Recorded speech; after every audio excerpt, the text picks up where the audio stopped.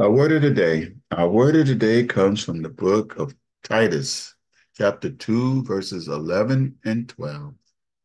That's Titus chapter 2, verses 11 and 12. And it says, For the grace of God that brings salvation has appeared to all men and women,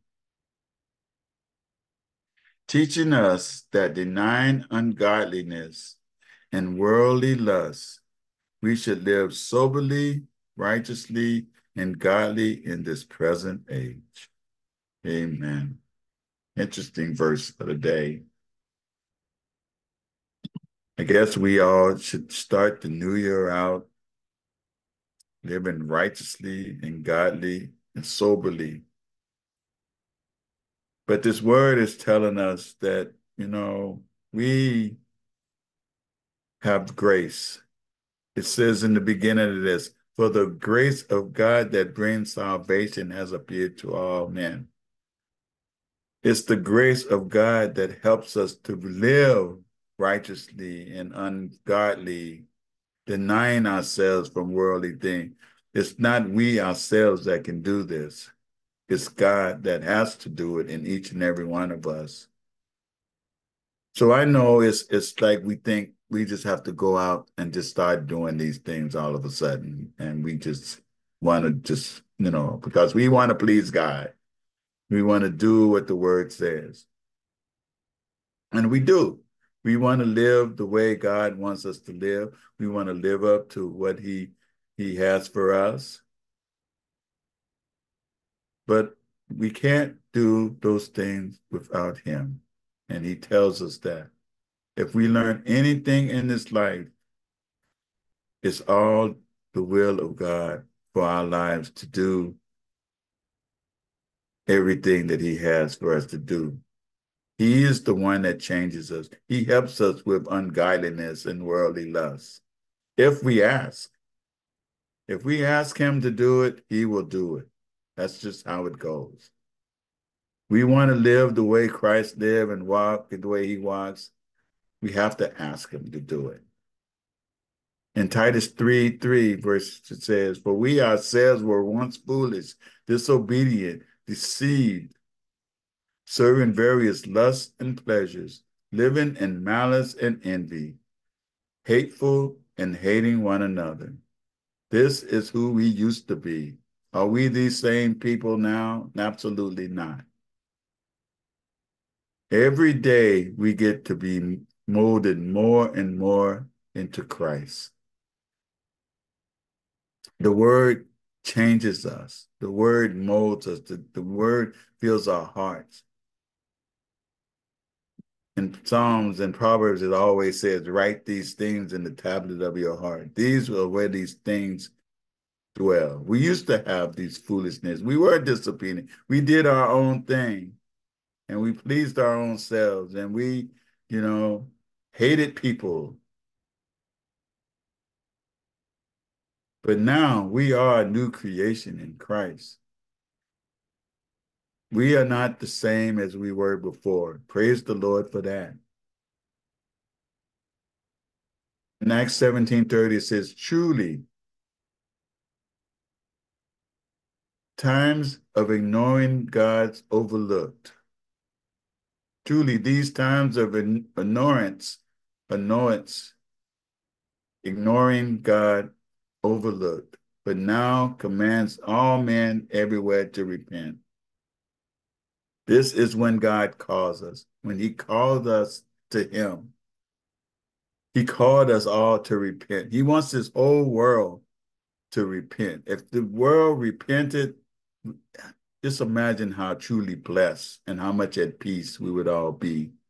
How much the grace of God would just overflow with abundance over everywhere and everyone. But we are not ignorant to know that these things will not happen because men walk in darkness and they love darkness better than light.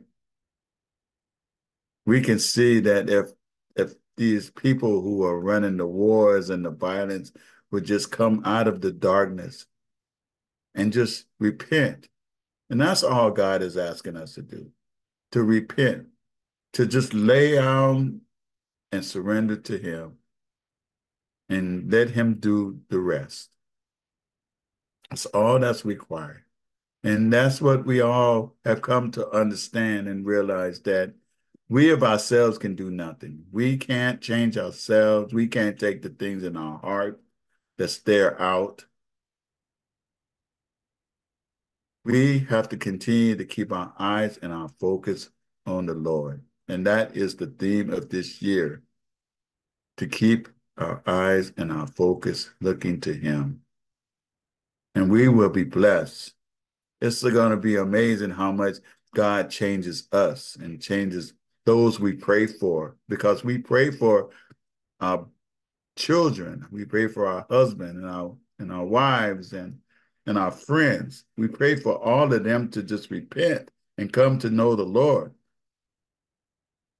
That's our prayers all the time. That they are able to surrender their lives to you. But we know that God is the only one that can do it. So we continue to pray for them every day. God does his work in them and by his grace. Because we know that God is full of grace and mercy and love. In 1 Timothy chapter 2, verse 4, it says, Who desires all men to be saved and to come to the knowledge of the truth? God desires all men to be saved, and women, and children. He desires them all to come to the knowledge of truth.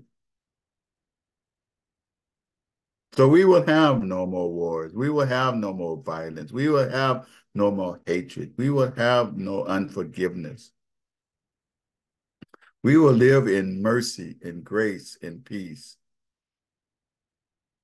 This is what God wants. All men and women and children to be saved and come to the knowledge of the truth. This is why we continue to pray for them, our families and our children and our loved ones and our friends. Desire for them to come to the knowledge of the truth. Amen. 2820, it says, teaching them to observe all things that I have commanded you. And lo, I am always with you,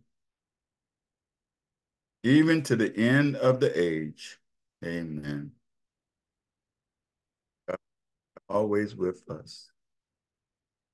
He will continue to teach us all and bless us all.